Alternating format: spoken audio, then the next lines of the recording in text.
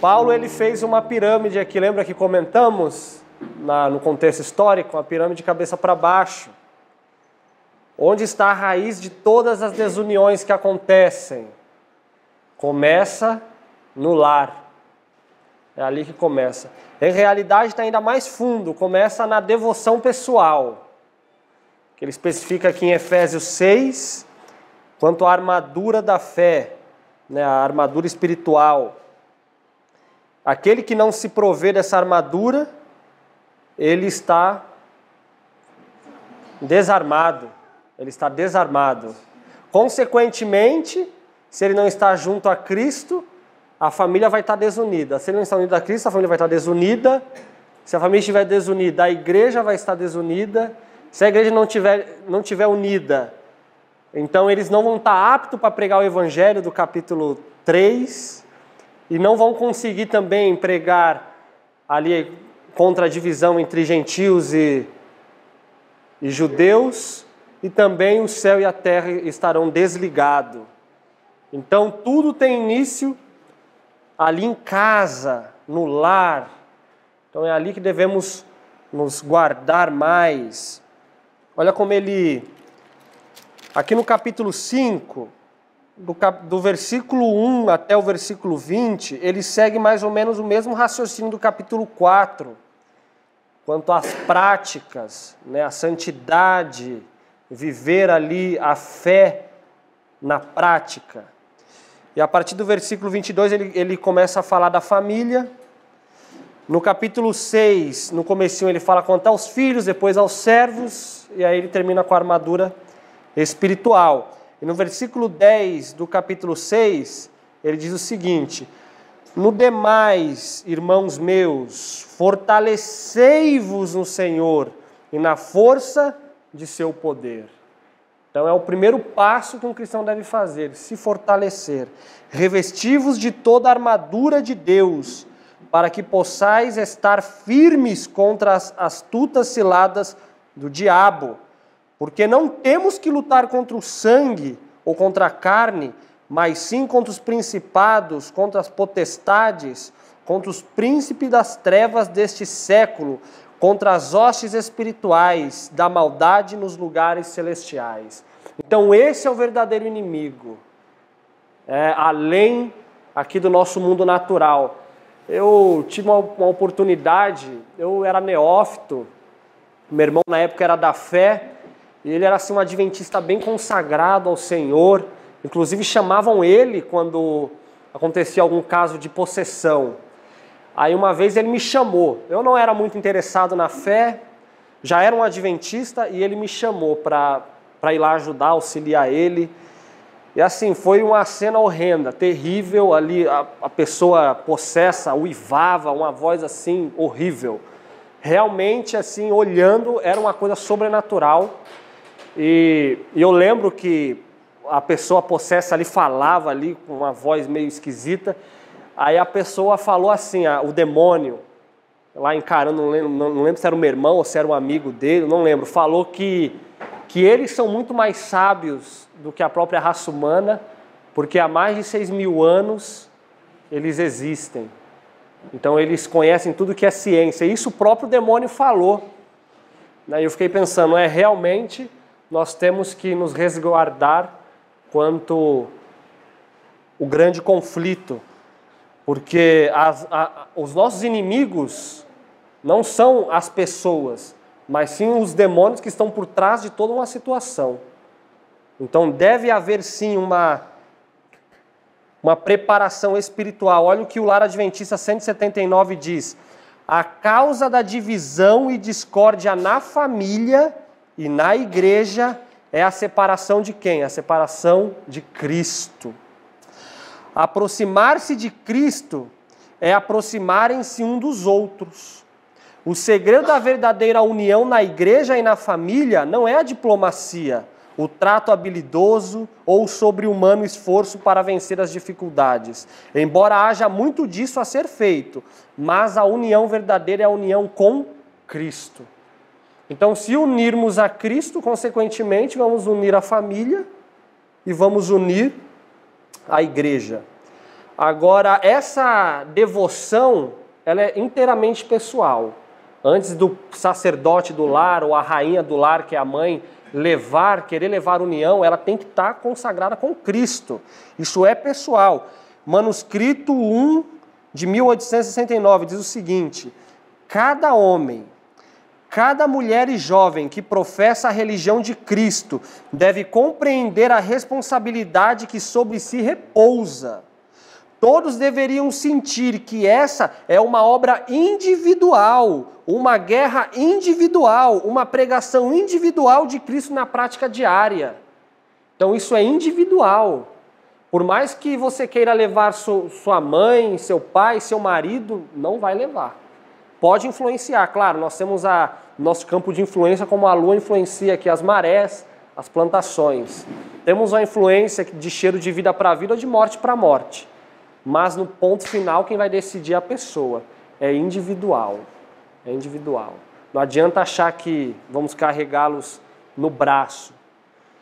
Outra citação, Testemunhos Seletos, volume 2, página 262.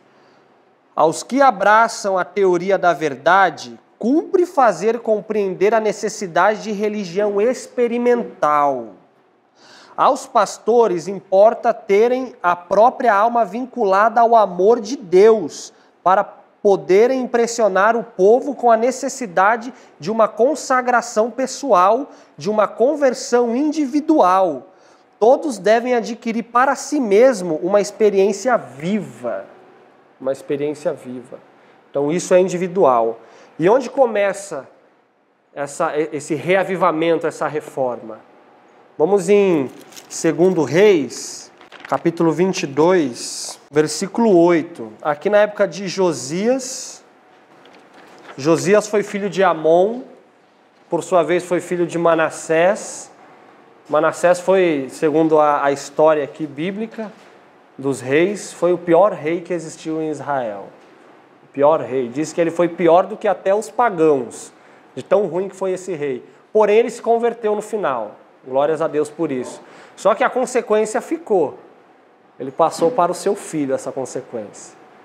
Né, o seu filho seguiu os mesmos caminhos degradantes do seu pai, que foi o rei Amon, que por sua vez teve outro filho, que foi Josias. E Josias nasceu num contexto totalmente desestruturado, familiar, espiritual, um contexto idólatra. Mas Josias, diz a história, que ele colocou em seu coração, ainda quando era menino, quando era jovem, servir aos caminhos do Senhor. Ele começou a reformar Israel, quis reformar o templo, e no versículo 8 do capítulo 22 de, primeiro de 2 Reis, diz o seguinte: Então disse o sumo sacerdote Uquias ao escrivão Zafan, Safã: Achei o livro da lei na casa do Senhor. E Uquias deu o livro a Safã e ele o leu. O livro da lei. Diz os historiadores e os teólogos que era o livro de Deuteronômio. Israel já estava tão degradado que tinha até esquecido uma parte da Bíblia lá, ninguém mais sabia onde estava e encontraram essa parte da Bíblia. E no versículo 11, ele começa a ler o livro para o rei. E sucedeu, pois, que ouvindo o rei as palavras do livro da lei, o que, que o rei fez? Rasgou as suas vestes. E o rei mandou a Ilquias e o sacerdote Aicão, filho de Safã, e Aquibor, filho de Macaí, Micaías, e Safão, o escrivão, e Asaías, o servo do rei, dizendo: Ide consultai ao Senhor por mim, pelo povo e por todo o Judá acerca das palavras deste livro que se achou, porque grande é o furor do Senhor que se acendeu contra nós, porque porquanto nossos pais não deram ouvido à palavra deste livro, para fazerem conforme tudo acerca que está escrito. Então ali começou um reavivamento, ali começou uma reforma, através da Bíblia, através da palavra de Deus. Igualmente também na, na, na reforma protestante, onde que foi baseada ali a reforma? Na Bíblia. Na Bíblia. Martim Lutero, outros antes dele, John Hus, Jerônimo, através da Bíblia chegaram ao conhecimento e reformaram toda uma nação. Hoje somos frutos de uma reforma. O mundo, até o mundo secular, o mundo, o mundo ateu, eles, eles têm muito que se deve à reforma protestante. Mesmo que eles neguem a religião. Mas o mundo foi liberto através do conhecimento das Escrituras. A verdade liberta. A verdade liberta. E é através da Bíblia que chega esse conhecimento. É, agora, vamos entrar em Efésios 5. Efésios 5 vem falando um pouco da família. Um pouco muito da família. Quanto marido e mulher, filhos.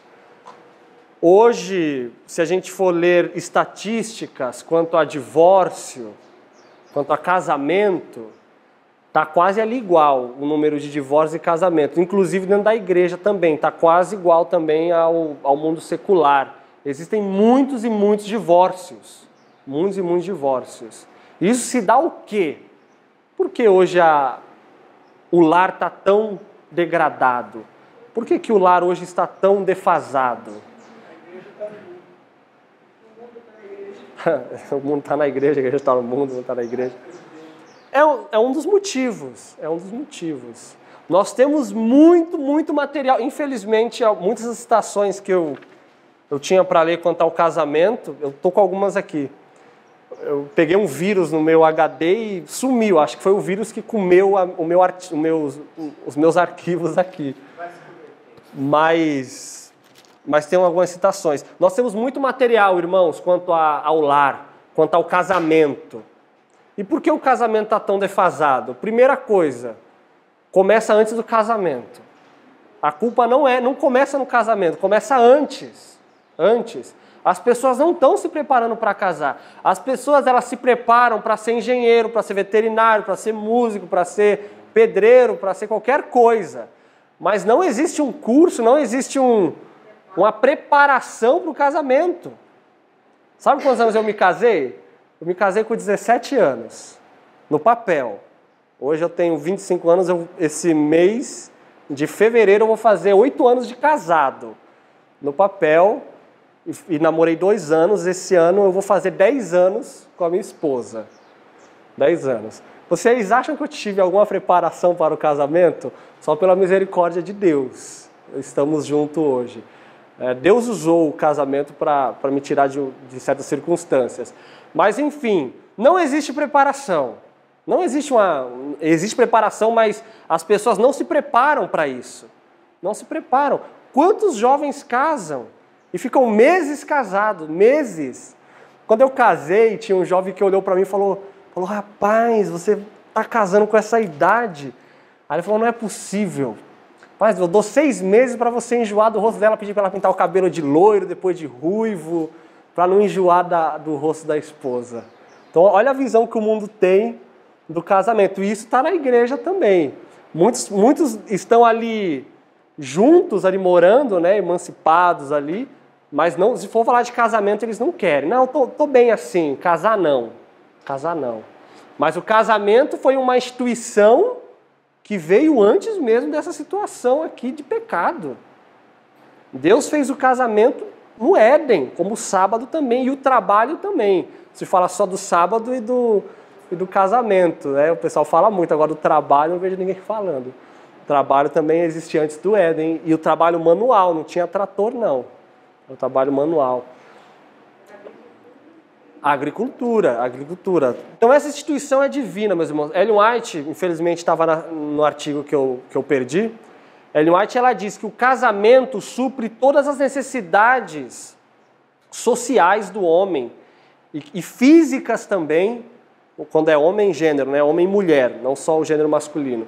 E que o casamento é uma bênção para o gênero humano, uma bênção, apesar de hoje ter essa visão. Quem, quem que veio com essa visão? Satanás. É, Satanás, a missão dele é matar, roubar e destruir.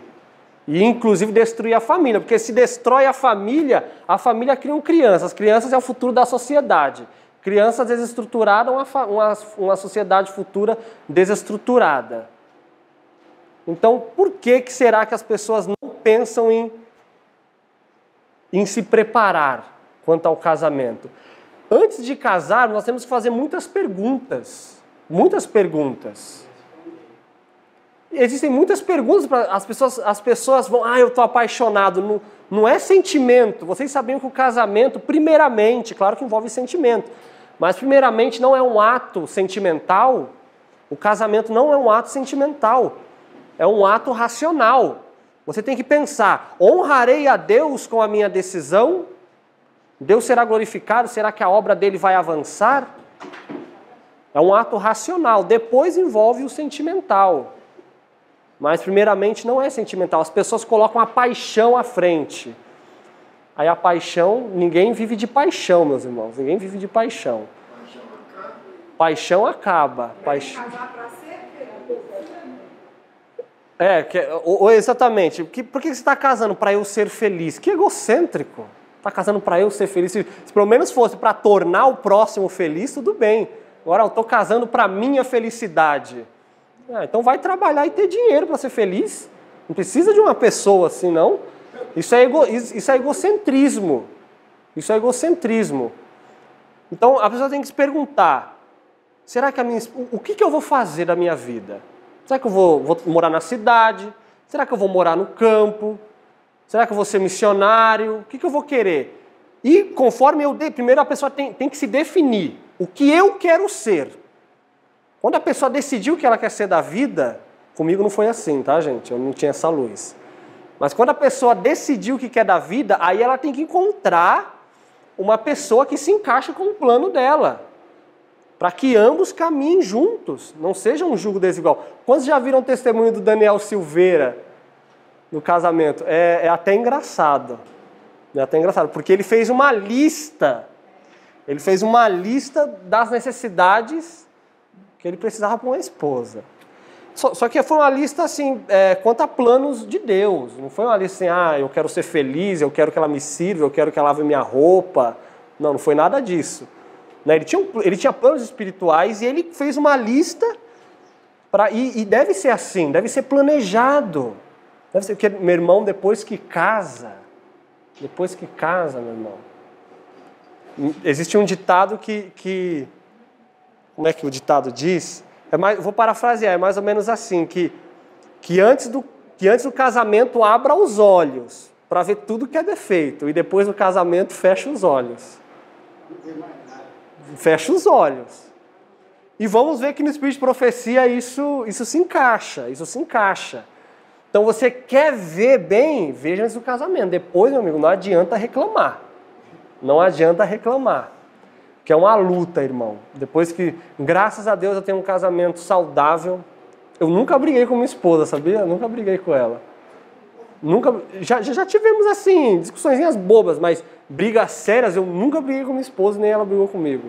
Graças a Deus. Eu queria ler uma citação primeiro que não, que não se encaixa ao meu contexto, porque eu casei jovem. Eu casei jovem. Alguém aqui tem menos de 20 anos? Não, não tem ninguém aqui de 20 anos, mas alguém que vai assistir a palestra, talvez algum jovem menor de 20 anos vai assistir. Olha o que essa citação diz em Lara Adventista, página 79. Um jovem, né, entre sua adolescência e seus 20 anos, é incapaz de julgar da habilidade de uma pessoa tão jovem como ele mesmo para ser sua companheira por toda a vida. Então a pessoa com menos de 20 anos esquece. Mas se a pessoa tiver 20 anos e um mês, também não quer dizer que ela está apta para o casamento, tá? Não quer dizer, ah, ó, eu fiz 20 anos. Ah, 20, quantos anos você tem? 20 anos e um dia. Não quer dizer nada, meu irmão, não quer dizer nada. Existem pessoas de 40 anos que, estão, que estão, é, não estão preparadas para o casamento. Tá? E eu, ó, eu casei, o meu contexto de vida eu adquiri independência financeira com 15 anos. É, eu, minha mãe tinha umas casas lá, eu fui morar numa das casas, já trabalhava. Então, assim, eu nunca tive problema quanto a algumas questões do casamento, né? Claro que fui aprendendo muito conforme a verdade chegou. Mas graças a Deus eu não tive problemas graves. Olha outra citação aqui, ó. O casa, isso é triste, hein?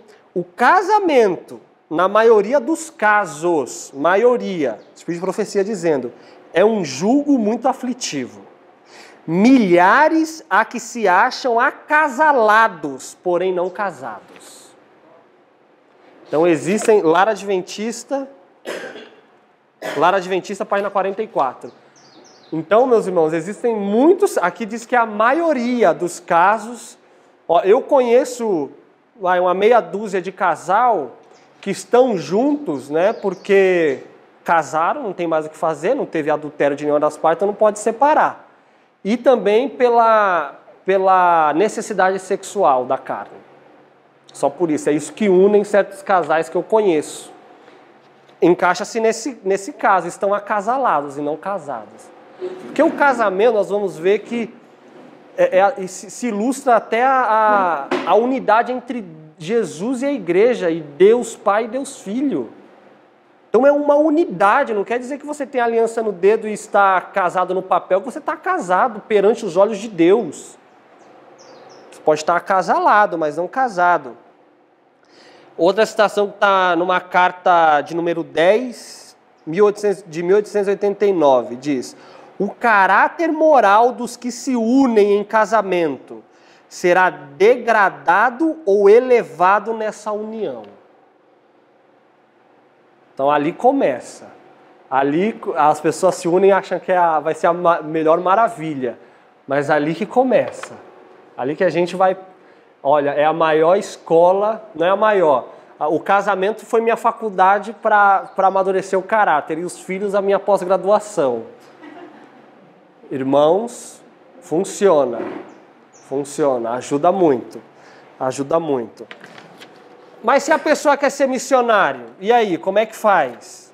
A gente tem que pensar nisso. Ó, eu comecei a trabalhar com a obra. Eu, quando eu casei, eu não pensava nisso. Eu queria ser biólogo. Eu era do mundo. Eu, era, eu tinha um contexto de vida bem complicado. Conheci a verdade, me batizei, aí em seguida casei. Aí não tinha ainda os planos de, de ser missionário nem nada. Até que a verdade veio chegando, graças a Deus, Deus teve misericórdia de mim.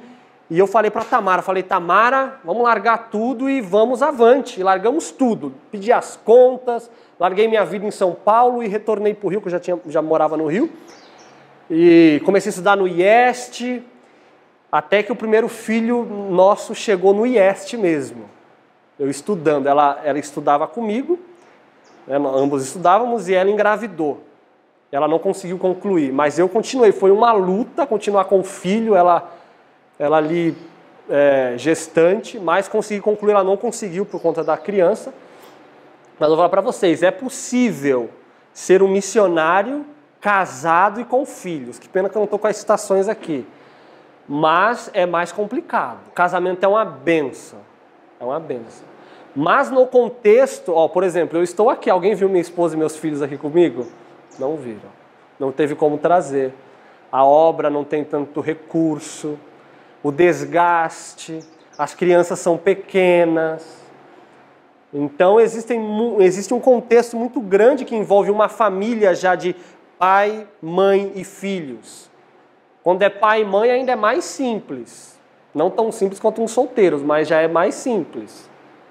Agora tem que pensar, e aí, se eu tiver filhos, será que a esposa vai querer, olha, eu tenho uma viagem para fazer que eu vou ficar mais de um mês fora. E eu, vou falar sinceramente, Deus é minha testemunha. Tem sido o maior embate de estar na obra é isso, é é ter que deixar minha família. Muitas vezes eu tenho que prosseguir, só que graças a Deus ela entende. Graças a Deus ela fala: Eu não vou te privar por egoísmo meu, a obra de Deus necessita.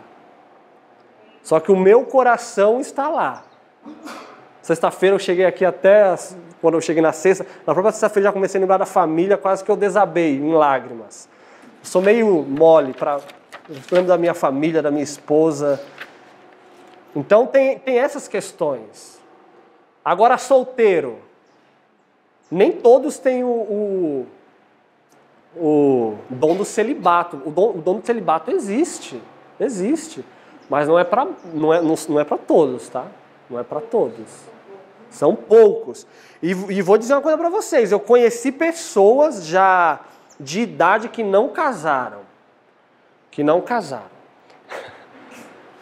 E essas pessoas são, algumas delas são carrancudas, não é igual o irmão Tassimão, ele é um amor, é alegre. A gente vê que ele é um, um ser humano pleno resolvido, igual o irmão falou, o irmão Moisés. Agora eu conheci algumas pessoas carrancudas, introspecta, assim, ó. Você vê a pessoa o tempo inteiro assim. Aí você vai falar de relacionamento, a pessoa fala, graças a Deus não casei. Graças a Deus, não, eu, eu não nasci para casar. Mas você vê que a pessoa não está feliz. Você vê que a pessoa não é plena. Não é plena. A pessoa que tem o um celibato, ela, ela é plena. Igual, igual Paulo foi pleno. Paulo, o que, que ele diz? A, a graça de Cristo me basta. Ele foi casado com quem? Com a igreja. A igreja era a esposa dele. Mas não acontece com outras pessoas que afirmam né, que não vão casar e tal. Inclusive, uma das pessoas que eu conheço já foi casada, uma pessoa, e esse irmão, ele acabou se separando porque, assim, tem um, um, um contexto muito difícil, um temperamento muito difícil, porque o casamento é ceder. Quer, re, quer resumir o, cas, o casamento numa palavra? É ceder. Ceder. Isso que é o casamento. E a pessoa é difícil de ceder. Então ela mesma fala: Eu não me adaptei à vida de casado, mas mas tem sido uma bênção a vida no celibato. Desse jeito. Você vê que não é uma bênção. Não é uma bênção. Né? Mas a, a pessoa ela precisa trabalhar o seu temperamento. Tem que ceder, meu. Tem, tem que ceder, meus irmãos. Tem que ceder. Esse é o segredo do casamento. O meu casamento tem sido uma bênção. Tanto ela cede, a minha esposa, graças a Deus, ela, ela, ela é bem submissa. E eu também, assim, eu, eu cedo bastante. Quando eu vejo que tem coisa nada a ver, tudo bem. Né? Então, existe uma cooperação entre ambos. Existe, é nítido isso. Não é apenas, ah, os homens gostam, né? Lá, tem que submeter. Ah, eu sou o sacerdote do lar. Os homens gostam disso aí. Os homens gostam. Mas existem papéis, é real, a submissão é real. Eu vou, eu vou falar uma coisa polêmica aqui. Alguns, alguns podem achar polêmico. Eu não acho que é polêmico porque, para mim, isso é realidade. A nossa religião é uma religião de igualdade? Não. O cristianismo não é de igualdade, tá? Não é igualdade. O que, que Ellen White diz? Patriarcas e Profetas, ele diz que a mulher foi tirada de uma costela do homem, significando o quê? Que ela não estava abaixo nem acima, mas que ela seria ajudadora.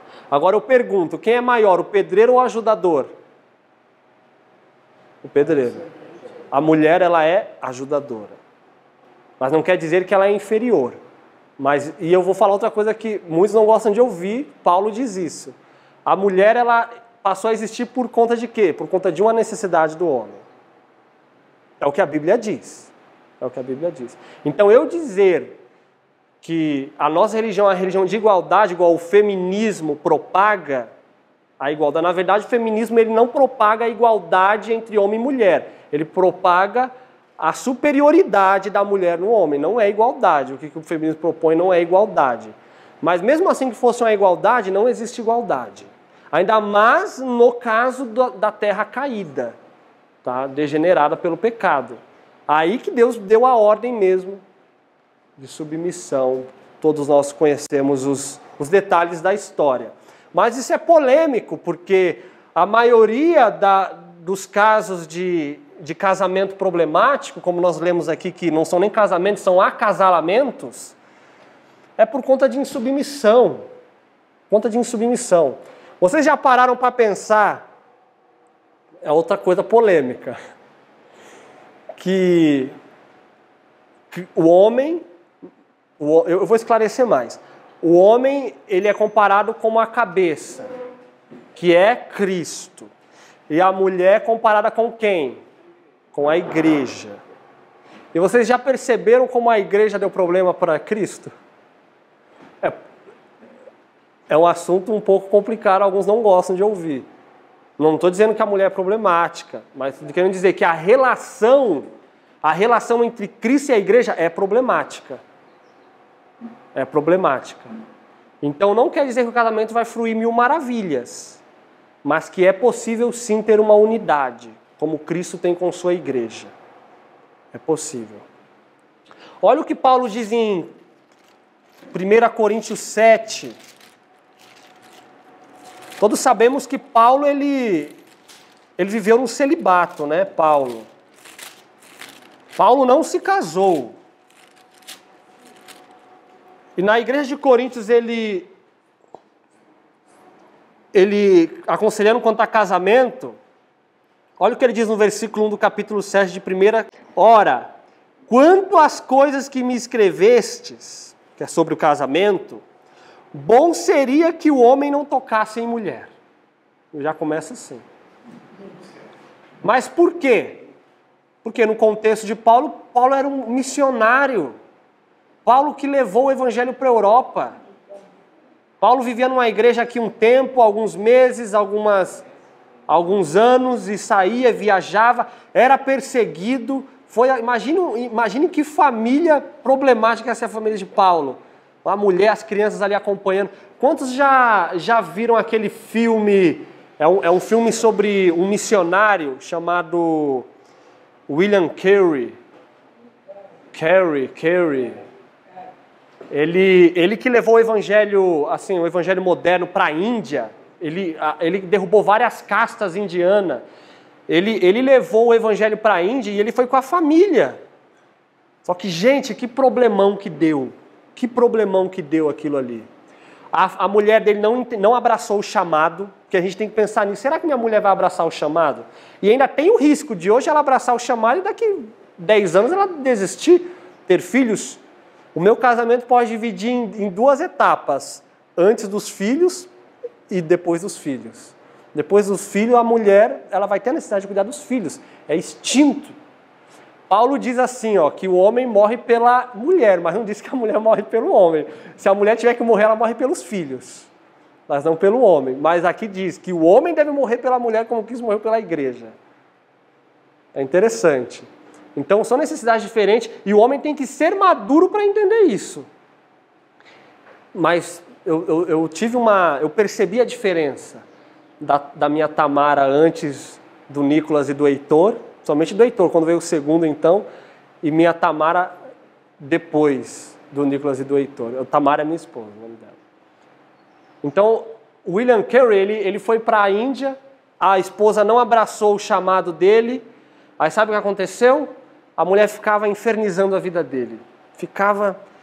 E ele foi para uma casa pobre e eles eram ingleses. E ela, como é que eu posso? Tal, sou da Inglaterra e num... numa casa dessa e tal. Coitado, aquele homem ele sofreu muito pela causa, mas um homem muito compenetrado na missão. Até que sabe o que aconteceu? Um filho dele morreu de doença. A mulher dele sabe que ficou louca.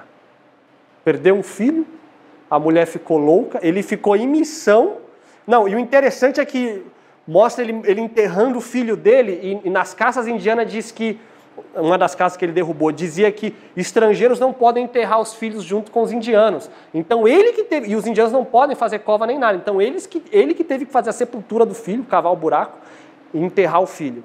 Enquanto ele cavava, ele não estava preocupado nem com. Lógico que ele ele, ele pesou pela morte do filho, mas ele estava compenetrando na missão. Ele cavava e falava: Meu Deus do céu, que tradição é essa? Que tradição de Satanás que, que, que me separa até. Era como se fossem judeus e gentios. Me separa até de, de enterrar meu filho com este povo.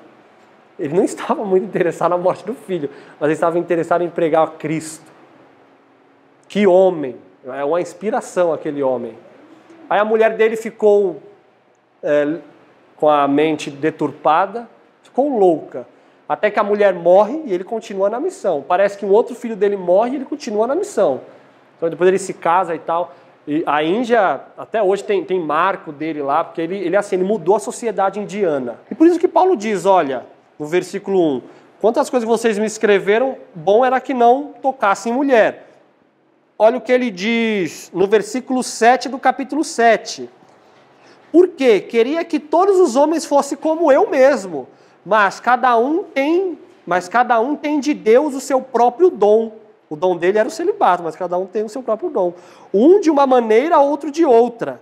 Digo, porém, aos solteiros e às viúvas que que lhes é bom se ficassem como eu, mas se não podem conter-se, casem-se, porque é melhor casar do que abrasar-se. Então, esse é o conselho de Paulo. Para quem está na missão, realmente a realidade é um solteiro é mais maleável, isso é um fato. Também tem suas desvantagens, porque ser casado tem suas vantagens, é muito bom. É muito bom ser casado. mas sem suas desvantagens. Deslocar a família é inviável. Às vezes, a, às vezes a esposa não abraça o chamado. Às vezes, se ela abraça, não vai garantir que ela vai abraçar depois. Ou se a esposa está compenetrada na missão, às vezes o marido abandona. Enfim, tem risco dos dois lados. Tem risco dos dois lados. Então, por isso que quem quer servir na missão, se pergunte. Né? Ou faça igual Daniel Silveira, faça uma lista. Aí no testemunho dele, ele parece que ele era dos desbravadores, eu não lembro. E ele e ele estava fazendo entrevista com as, as pessoas desbravadores, com as meninas desbravadores. E ele ia perguntando todos o questionamento que ele tinha feito para as meninas, para ver se alguma se encaixava, até que ele encontrou a costela dele. Então, depois que fizermos esses questionamentos, aí sim podemos orar. E ele White ainda diz uma citação: que aquele que ora duas vezes por este assunto, que passe a orar quatro. Ou seja, ore o dobro. Se você ora 20, ore 40. E ore. E ore, irmão. Porque tem outra citação que ela diz o seguinte: que você pode selar o seu destino com isso aí. E principalmente selar a sua carreira missionária. Outra questão, casamento com pessoas de outras nações. É complicado. Culturas diferentes. Tem um, um aluno no Hartland que ele casou com uma indiana, ele é norte-americano. Dizem que foi o melhor aluno que, que pisou naquele Hartland. O cara era um, um gigante, um pregador assim excelente. Hoje, eu não sei se ele está hoje lá, mas na época eu estava no IEST, o ministério dele se resumia na capela daquele, daquela instituição, por conta da esposa. Afundou com o ministério dele. A esposa não abraçou a missão, não queria ficar lá. Isso pode acontecer com a mulher também. Então tem pessoas que vão estabilizar, vão, vão estacionar, congelar a sua carreira, aí vai decidir, me divorcio ou divorcio. O que, que a Bíblia diz quanto a isso? Né? Por isso que a escolha é o primeiro passo. É o primeiro passo. Olha o que diz aqui em algumas citações. Quando a escolha é bem feita, a maior prova do poder do cristianismo que se pode apresentar ao mundo é uma família bem ordenada, bem disciplinada isso recomendará a verdade como nenhuma outra coisa o poderá fazer, pois é um testemunho vivo de seu efetivo poder sobre o coração. Então não há pastor, não há presbítero, não há missionário que pregue mais do que uma família bem ordenada. Mas irmãos, quase não se vê família bem ordenada. Nem na Bíblia. Me diz aí lares que foram funcionais na Bíblia, de homens de Deus. Eu posso pensar que Jesus né, o lar de Maria e José, o lar de Isabel, né, João Batista, mais quem? Quem? Enoque, correto. Mais quem? Conta-se nos dedos de uma mão. É o tamanho da Bíblia. Lares que não eram funcionais, disfuncionais. Davi teve um lar totalmente bagunçado. Jacó nem se fala. Samuel, Samuel, olha quem Samuel foi. Samuel desde os 12 anos. Samuel foi um, foi um personagem tão especial que ele, ele, ele excedeu todas as expectativas. A, a lei dizia que apenas levitas da tribo de, da, da família araônica podia ser sumo sacerdote, sacerdote. Samuel nem, ele era levita, mas levita de Efraim, da, da família de Coate não era de Arão, e mesmo assim sim foi sacerdote, porque não havia capacitados. Não havia capacitados, o, o, o sacerdote começava a ser sacerdote a partir dos 25 anos, e sumo sacerdote a partir dos 50. E Samuel, o sumo sacerdote portava o éfode, né? portava toda aquela a mitra com santidade ao Senhor. E Samuel, aos 12 anos de idade, portava o éfode, já, já tinha cargo de sumo sacerdote. Mas os filhos dele, o que a Bíblia diz? O que, que a nação diz? Olha, Samuel, seus filhos já não andam mais segundo os seus caminhos. São filhos de Belial. Eli foi um excelente sacerdote, foi, um, foi o homem que criou Samuel. Mas quanto aos filhos, podemos selecionar dezenas aqui de casos de homens de Deus na Bíblia. Isso é uma tristeza. Outra citação: O céu contempla com prazer um casamento formado com um sincero desejo de seguir a direção dada nas Escrituras. Quando, tem uma citação aqui, mas eu acho que nem é necessário, que diz que é quanto a, ao casamento de. Eu já ouvi isso, tá? Casamento de cristãos com não cristãos. Eu já ouvi o cúmulo do absurdo de uma pessoa falar assim para mim: Olha, eu estou me casando porque eu vou trazê-lo para a igreja. Casamento não é para evangelismo, não, meu irmão. Casamento não serve para evangelismo, não. Então, que risco que a pessoa corre? É mais fácil a pessoa trazer ela para o mundo do que ela, ele trazer ela. Agora, quanto ao caso da pessoa casou, né, e, e não era da igreja, e depois conheceu a verdade, o Espírito de Profecia, a Bíblia diz que tem que orar e continuar o casamento, e tentar santificar o esposo ou o esposo tentar santificar a esposa. Essa citação que eu estou aqui até diz quanto a isso. Está né, tá em uh, Patriarcas e Profetas, página 175. Aqui diz mais: o casamento de cristãos com ímpios é proibido na Bíblia. A instrução do Senhor é: não vos prendais a um jugo desigual. Vamos ler Efésios 5. É o versículo 31. Por isso, isso já é uma ordem que foi feita no Éden. Por isso, Deixará o homem seu pai e sua mãe, se unirá à sua mulher e serão dois numa carne. Isso aqui é importante, deixar pai e mãe. Eu amo meu pai, amo minha mãe, amo minha sogra. Morei três anos em São Paulo do lado da minha sogra e do lado da minha mãe. Meu casamento foi mais feliz depois que eu saí de lá. Eles têm boas intenções. Eles querem ajudar. Eles querem ajudar. Só que eu sempre vou ser o bebezão da minha mãe. E minha esposa sempre vai ser o bebezão da mamãe dela. Então a mamãe e o papai vão querer se intrometer querendo ajudar. Só que ali, eu costumo dizer o seguinte, que a minha família sou eu e meus filhos e minha esposa. E meus parentes constituem o restante. Inclusive pai e mãe. Porque agora eu saí. O que, que esse, esse, esse versículo diz? Então deixará, se apartará e se unirá a sua mulher como se fosse uma carne. Isso é o simbolismo entre Jesus e o Pai, é um só, um só propósito. São ali unha e carne, um só. E meus irmãos, foi uma benção. Hoje eu moro num estado que estou próximo de, sei lá, 450 quilômetros do meu parente mais próximo. Tem sido uma benção. Eu converso com eles, amo todos eles, amo minha mãe, amo meu pai, ao meu pai, mas é uma ordem bíblica. Olha o que essa citação diz. Há um círculo sagrado em torno de cada família que deve ser preservado. Meus irmãos, quantas vezes eu já vi esposa que sai correndo, mãe, mãe, conta do marido para mãe, ou esposo que, que vai no pai, na mãe, e a mãe se intromete. Meus irmãos, isso é tão, tão antibíblico, tão antibíblico. Aí mora naquele quintal que o vizinho colado com a parede é a mãe, aí na frente é a sogra, aí depois é o primo, o tio, tio de segundo grau, tio de terceiro grau, tio avô. E quantas mulheres ficam falando mal do esposo para amiga. E assim fica aquela fofoca. Aí a amiga, olha amiga, se eu fosse você eu fazia isso, hein? Aí já fica opinando num ciclo que é sagrado. E isso é real, meus irmãos.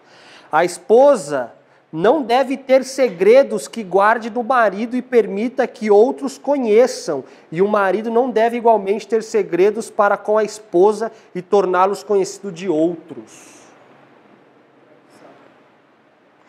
Então não se deve, é sagrado. É sagrado. E quanto aos defeitos? Lembra do ditado? Abra o olho no, no namoro e no casamento fecha. Lara Adventista, essa, essas duas citações, a anterior e esta, na Lara Adventista, página 177. O coração da esposa deve ser a sepultura das faltas do marido. E o coração do marido, a sepultura das faltas da esposa. Morreu aqui. O que aconteceu entre eu e ela, fica entre eu e ela e Deus. Porque é um trio, lembra a primeira, a primeira citação que eu li? que se achegar a Cristo é se achegar à família. Então é um trio entre Deus, Né? A divindade, marido e mulher. A divindade, marido e mulher. E esse círculo. Se há quebra de um só, já danifica. Mesmo que uma parte fique fiel. Se a outra já defasou, já era. O casamento já corre riscos. Vamos continuar lendo aqui. Nunca devem nenhum nem outro permitir gracejos, isso acontece muito, à custa dos sentimentos do parceiro. Não devem jamais, marido ou mulher, quer por brincadeira, quer por qualquer outro meio, queixar-se um do outro para outras pessoas, pois da prática frequente dessa imprudência, o que pode parecer uma brincadeira perfeitamente inocente, acabará em conflito entre ambos e talvez em afastamento. Tem-se me mostrado que deve haver uma sagrada proteção em torno da família. Quantos ficam gracejando, fazendo brincadeira de mau gosto com o marido ou com a esposa? Ellen diz que isso também não, não deve ocorrer. Vamos ler Efésios. Vamos para Efésios, continuar em Efésios 5. A partir do versículo 22 diz: Mulheres, sujeitai-vos a vossos maridos como ao Senhor. Porque o marido é a cabeça da mulher, como também Cristo é a cabeça da igreja, sendo ele próprio o salvador do corpo. De sorte que, assim como a igreja está sujeita a Cristo, assim também as mulheres sejam em tudo sujeitas aos seus maridos. Essa sujeição, ela é real, ela é bíblica, mas ela é condicional. Ela é condicional. Aqui diz em tudo, mas em tudo segundo os princípios da palavra de Deus. E outra coisa, compara o homem com Cristo. Cristo ele deixa alguma falta para com a igreja? Não. Cristo supre todas as necessidades da igreja. Cristo é um verdadeiro líder e não um chefe. Cristo ama, Cristo ampara. Cristo deu a vida pela igreja. Aí fica fácil a igreja se submeter a um, a um líder desse. Se o marido amar, respeitar, estiver disposto até de dar a vida por sua esposa, como Cristo deu a vida pela mulher, pela igreja, será fácil uma mulher se submeter ao seu marido. Porque é fácil falar, ó, a Bíblia diz que deve se submeter em tudo, mas eu não fazer minha parte. Existem papéis, existem responsabilidades de ambos. O marido tem suas responsabilidades, a esposa também. Se o marido quer que a esposa respeite ele, então a ame. E se a mulher quer que o, que o marido a ame, respeite. Então são. E o que tem acontecido hoje? Uma disfunção total. Hoje o homem não faz nada, né? O homem era a o bisavô da minha esposa, a bisavó dela, a avó Amélia, ela teve 21 filhos. E o marido sustentou todos. E o homem era. Ele fazia tudo. Fazia tudo. Ele sustentou todos os filhos, não deixou, faltou, não deixou faltar nada, era um verdadeiro chefe no lar. Hoje o, o marido tem um filho, não dá, conta, não dá nem conta nem da esposa. Não dá conta nem da esposa, quanto mais do filho. Então, como a esposa vai submeter um marido desse? Não tem como submeter. Hoje o homem não sabe trocar um chuveiro, gente. Hoje o homem não sabe fazer arroz. A minha esposa sofreu um acidente e quebrou o braço. Tive que me virar. Eu tive que ser pai, né? Pai e mãe ao mesmo tempo. Tive que cuidar dos meus filhos, né? tinha que dar banho, tinha que trabalhar no IAG, chegava em casa correndo, tinha que estudar para conteúdo e tal fazer os, os, em casa mesmo fazer a divulgação, que eu estava com a divulgação do IAG também, e a Tamara, Quiris, banho nas crianças, aí corria lá, banho nas crianças, Quiris, o arroz, lá o braço que a louça, não consegue nem lavar uma louça, tá com o braço lá. Aí tive que ser pai, né? Tive que, que assumir as duas responsabilidades. Agora, seu marido, eu tenho um amigo, eu tinha 19 anos, 18 anos, eu já era casado. Aí ele ligou para mim, uma vez, falou: Aqui estamos tomando banho gelado há uma semana, ajuda nós aqui. Aí fui lá ver, ó, comprei um chuveiro, você troca, abriu o chuveiro tinha queimado a resistência. Aí ele comprou um chuveiro. Aí a segunda vez foi a mesma coisa, ele comprou outro chuveiro. Eu falei, rapaz, já te avisei que tem resistência, queima, espera. Ensinei ele, nada. Você tem que, que tomar um jeito, porque você é homem. Quando você casar, como é que vai ser isso? Como é que vai ser isso? Quando sua esposa estiver tomando banho e queimar o chuveiro, você vai chamar o vizinho para trocar o chuveiro? Você vai chamar alguém para trocar o chuveiro? Se alguma coisa acontecer com sua esposa ou com seus filhos, você vai chamar alguém para. Ali, não, eu estou estudando, ele fez faculdade e tal. Eu estou estudando e pago. Tá bom. O rapaz não sabe fazer nada. Nada. E não é o único. São vários que não sabem fazer nada. Não sabe, não sabe trocar um chuveiro, não sabe, não sabe o que é positivo, negativo, numa fiação, não sabe o que é neutro. Não... Então fica difícil uma mulher se submeter a um. É uma disfunção isso aí, é uma disfunção. O homem ele tem que ser um líder. Vamos ter um versículo em Provérbios 24, 27. Olha o que diz. Homens que não casaram, tem alguns jovens aqui, e pode ter alguns jovens que, não assist, que estão nos assistindo. Olha o que diz, 24, 27. Prepara de fora a tua obra e aparelha no campo, e então edifica a tua casa. Então, qual é o conselho de Salomão? Olha, se aparelha, se prepara, e depois edifica o teu lar. E no campo, ainda diz esse detalhe, no campo.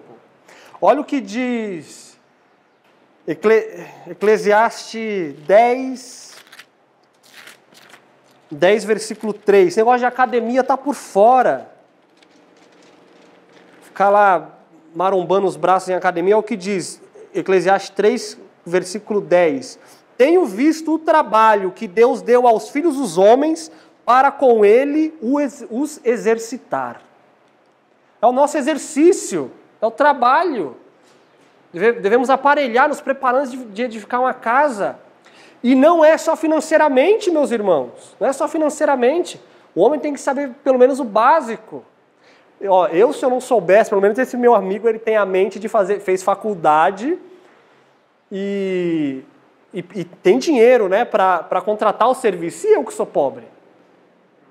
Pensa se eu, se eu dependo de tudo até para pagar para trocar meu chuveiro? Aí está complicada a minha situação. Então tudo eu tenho que fazer. Eu tive que aprender a, a, a sentar tijolo, eu tive que aprender a fazer, a, a fazer revestimento. Fica aquela belezura? Não fica, mas pelo menos para mim eu faço. Pelo menos para mim eu faço. Quantas vezes já trabalhei cavando fossa, cavando buraco, cavando cisterna, derrubando árvore, com o trator. Eu fui para o campo, sou de cidade grande, mas eu sempre trabalhei, eu sempre fui peão. Eu até costumo falar que eu nasci para ser peão. Eu sempre fui peão. Deus me tirou da, da vida de peão. Antes de peão tinha uma outra profissão. Não tão boa, mas aí eu me tornei peão. Aí Deus me chamou. Eu fui, eu, eu saí do IES, no IES eu fazia tudo lá, eu era da manutenção no IES. Fazia tudo na manutenção, derrubava árvore, cavava buraco, enfim. Aí fui para Capitólio. Aí eu moro a 25, morava, né? A 25, 23 quilômetros da cidade mais próxima para dentro da roça. Aí eu ficava pensando, o que, que eu vou trabalhar? Né? O que, que eu vou trabalhar? Aí eu caí na, caí na roça, meus irmãos, caí na roça. Trabalhei com tudo que vocês imaginarem. Trabalho de roça. Eu trabalhei fazendo cerca, trabalhei mexendo com curral, trabalhei com gado, trabalhei com roçando pasto, cavando buraco, cavando fossa. Aí a fama do Aquiles percorreu. O pessoal, tudo era o Aquiles agora, chamava Aquiles. O na minha porta. Padeceu, eu não padeci. Então, então o homem, ele tem que ter esse papel de provedor, ele é o provedor da família. Ele é o provedor da família. Aí esse meu amigo me dizia: olha, estuda, Aquiles, porque a caneta é mais leve do que a marreta. Ele dizia isso para mim. Só que o serviço braçal, Deus deu o homem se exercitar, faz parte. Ellen White chega a dizer que o trabalho, se tiver que fazer entre o trabalho manual e o intelectual, faça o manual, porque desenvolve também o intelectual. Ela chega a dizer isso. Então, ó, eu trabalhei com lavoura, aí fui para o Paraná. Aí, enquanto eu estive em Capitólio, eu trabalhei com tudo. Trabalhei fazendo seca, mexi com eucalipto, derrubando árvore. Aprendi com o trator também. Tinha um, um, um, um chefe lá da fazenda que eu trabalhava, pilotava o trator e eu sempre atrás, eu observando. Aí uma vez a gente colheu uma roça de feijão, uma roça quilométrica, meus irmãos. Eu nunca tinha colhido feijão. Pensa num sofrimento. Eram, eram uns quatro alqueires plantados de feijão e para eu colher aquilo. E colher feijão, eh, não tinha como máquina subir, tinha que colher na mão. E você colhe. Só que imagina quatro alqueires, dava, devia dar uns 50 metros de largura e quase um quilômetro assim de, de comprimento. Imagina você debaixo de um sol quente colhendo, colhendo quatro alqueires de feijão. E o primeiro dia, pá, pá, pá, pá, igual uma máquina. No primeiro dia, isso aqui tudo meu já travou. Só que eu precisava trabalhar. Eu travado, eu andava assim, ó, eu não conseguia mais dobrar o joelho. Fui trabalhar. Então, então, meus irmãos, meus filhos nunca passaram dificuldade. Graças a Deus, me deu saúde, me deu sabedoria e nos sustenta. E abre as portas para que o trabalho chegue. Então, o homem tem que ter esse perfil. O homem tem que ter esse perfil.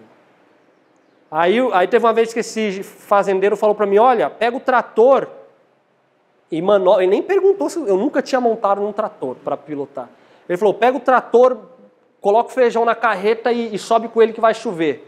Porque senão, se, se molhar o feijão, acabou. Aí mofa, germina.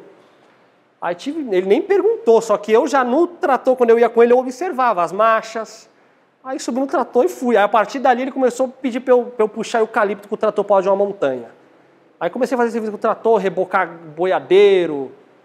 Aí fui para o Paraná, trabalhei com, com, grãos, também com trator, com tobata, aprendi a mexer com tobata lá que é microtrator. Depois voltei para Capitólio, Trabalhei em lavoura, lá na casa do lá, lá na casa do, do Rafa, no mesmo terreno que o Rafa mora, também com microtrator. Então, meus irmãos, o homem ele é provedor. Não interessa como ele vai sustentar a família, mas ele tem que sustentar. Ele tem que amar a esposa. Cristo não sustenta a igreja? Sustenta. Então temos que sustentar, temos que ser provedor, temos que ser líderes do lar. Isso é o papel do homem. Só que aí o homem não está fazendo mais esse papel.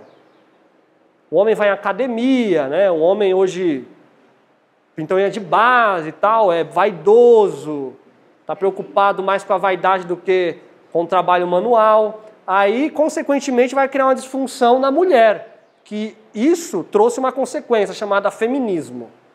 A mulher vê o homem e fala: ah, isso aí não, isso aí não presta para nada, porque faz quase a mesma coisa que eu faço, porque o homem hoje não faz quase mais nada.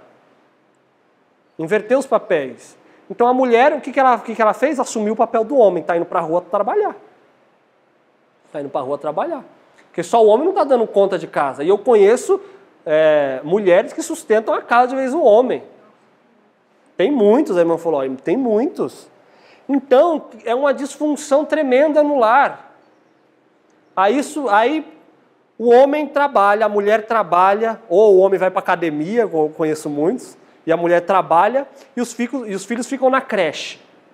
Então, olha, cadê a família? A família acabou. O homem está na rua, a mulher está na rua e o filho a gente terceirizou a educação. Está terceirizado. E Ellen White diz que o único professor, o único educador do seu filho são os pais. Inclusive a mãe. Tem até uma citação aqui que diz o seguinte quanto a mães, fala assim, ó, olha, a mãe, vocês mulheres, têm um papel surpreendente maior do que de pastor, maior do que de missionário, maior do que qualquer outro papel. É educar gerações. O caráter dos nossos filhos está na mão das nossas mulheres, das nossas esposas.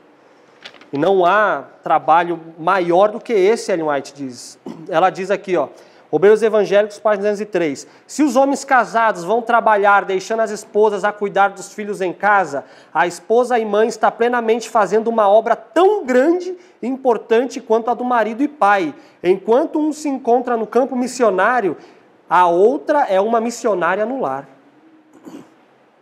Sendo seus cuidados e ansiedades e encargos frequentemente muito maiores que os do esposo e pai. A obra da mãe é solene e importante, moldar o espírito e o caráter dos filhos, prepará-los para serem úteis aqui e habilitá-los para a vida futura imortal. Esse é o papel da mãe. Então, isso é uma família funcional. O pai vai buscar o, o, o sustento, a mãe fica em casa, e hoje a sociedade implanta isso como degradante. Amanhã eu ficar em casa Agora estão falando na rede social. Mulher, é, lugar de mulher é onde ela quiser. Tudo bem, onde ela quiser, terá consequências. Olha que sociedade que vivemos hoje. Tudo, tudo me é lícito, mas nem tudo me convém. Ela pode ir para onde ela quiser. Ela pode ir para onde ela quiser. Agora, o plano de Deus, o homem sustentando a sua família, a mulher com uma obra que não é menor do que a do homem, é muito maior no lar, cuidando dos nossos filhos e educando gerações para o céu, formando cidadãos para os céus. É isso que a mulher faz. Só que aí me dizem como que um, lar vai ser unido desse jeito, onde ninguém cumpre com seus papéis, onde ninguém cumpre com seus papéis. Então o lar fica totalmente degradado. Vamos voltar aqui para Efésios para nós encerrarmos. E ainda diz assim, ó, no versículo 26, diz que o homem ele, ele serve para quê? Ó, para santificar e purificar. Né, como Cristo purificou e santificou a igreja, o versículo 27, para apresentar a si mesmo igreja gloriosa, sem mácula, nem ruga, nem coisa semelhante, mas santa e irrepreensível. O homem tem como papel santificar sua esposa. Assim devem os maridos amar as suas próprias mulheres como seus próprios corpos. Quem ama a sua mulher ama a si mesmo, porque nunca ninguém odiou a sua própria carne. Antes alimenta e sustenta, como também o Senhor a igreja. Olha aí, alimenta e sustenta. E um, e uma, um detalhe que eu não falei, que talvez seja o mais importante, além de sustentar mesmo financeiramente, com auxílio, sustento espiritual. O homem é o sacerdote do lar. O homem tem que ali como Abraão fazia, sempre erigia um altar de noite, de tarde, para os seus filhos, para a sua esposa, doutrinar a sua esposa, auxiliá-la em todas as dificuldades, ser realmente um. É, não vai dar tempo de mencionar aqui quanto aos filhos, mas em Tito, em Tito, em Tito diz o seguinte: olha o que diz aqui quanto ao papel dos presbíteros, que seriam os anciãos. Olha o que diz: aquele que for, no versículo 6 do capítulo 1 de Tito, aquele que for irrepreensível, marido de uma mulher, que tenha os filhos fiéis, que não possam ser acusados de dissolução, nem são desobedientes. Porque convém que o bispo seja irrepreensível como despenseiro da casa de Deus, não soberbo, nem iracundo, nem dado ao vinho, nem espancador, tal, tal, tal, tal. Então, um ancião, um pastor, um ministro, um missionário, ele tem que ter uma casa bem ordenada. Timóteo ele é mais claro ainda, no capítulo 3, versículo. Uh, eh, 1 Timóteo 4, versículo 4 que governe bem a sua própria casa, tendo seus filhos em sujeição com toda a modéstia. Por quê? Isso aqui é lógico. Por quê? Se alguém não sabe governar a sua própria casa, terá cuidado da casa de Deus? Então, se tem um, um cidadão ali que ele ele tem a esposa insubmissa, ele mesmo não cumpre com os deveres do lar, o que torna a esposa insubmissa. Os filhos são super baderneiros, imperativos, bagunceiros. Como é que, que testemunho é esse? Que evangelho é esse que não muda nem o próprio lar e ele vai querer apresentar o evangelho para a igreja? Então o homem ele é ele tem que ter o papel como sacerdote do lar. E o resto vai ser a consequência. Ter uma esposa submissa, ter uma esposa Tá OK? Que Deus nos abençoe. Que Deus possa nos ajudar a ter uma família, porque a família, meus irmãos, é, é o bem da sociedade. É na família que começa. Que vocês, que não sei se vocês são casados, tem alguns jovens aqui, que vocês façam jus ao papel de homem, porque hoje não temos homem. Hoje não temos homens. Tal qual a Bíblia descreve, não temos homens. Temos um monte de seres aí que não sei nem como classificar, mas não são homens. Né? Mesmo que tenham filhos, mesmo que sejam héteros, não estou querendo dizer sobre homossexualidade nem nada, mas assumir o papel e responsabilidade de um homem e de um chefe espiritual no lar.